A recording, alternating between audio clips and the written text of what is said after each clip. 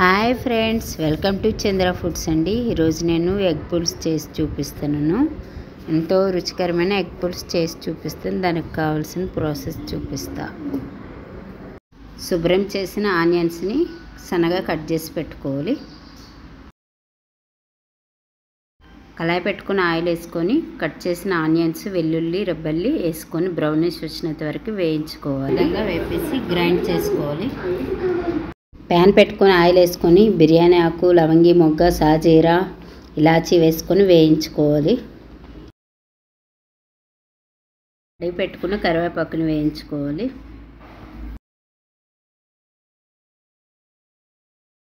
Cut చేసిన onions వేసుకోవాలి.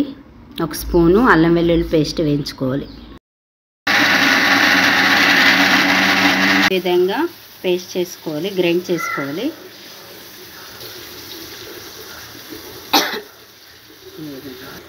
పసుపు ఒక స్పూను సాల్టు రుచికి సరిపోయినంత వేసుకోవాలి. కారం త్రీ స్పూన్స్ వేసుకోవాలి. చింతపండు నానబెట్టుకున్నాను నేను. నానబెట్టుకున్న చింతపండు గుజ్జుని వేసుకోవాలి.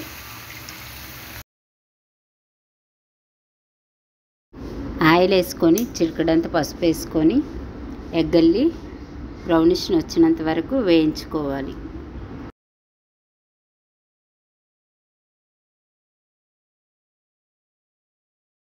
ఈ విధంగా కట్ చేసుకోవడం వల్ల ఉప్పు కారం మంచిగా పడుతుందని కట్ చేసుకోవాలి. కట్ చేసుకున్న ఎగ్గల్లి మరుగుతున్న పులుసులో వేసుకోవాలి. జీలకర్ర మెంతులు పొడి ఒక స్పూన్ వేసుకోవాలి. టేస్ట్ ఉంటుంది.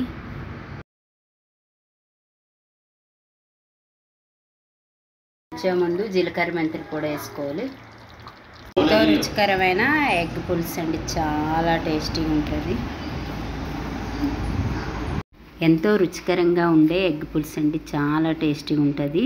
తప్పకుండా నా వీడియో మీకు నచ్చుతుంది. చంద్ర ఫుడ్కి లైక్ షేర్ సబ్స్క్రైబ్ చేయండి. Thank you friends. Wow super so tasty.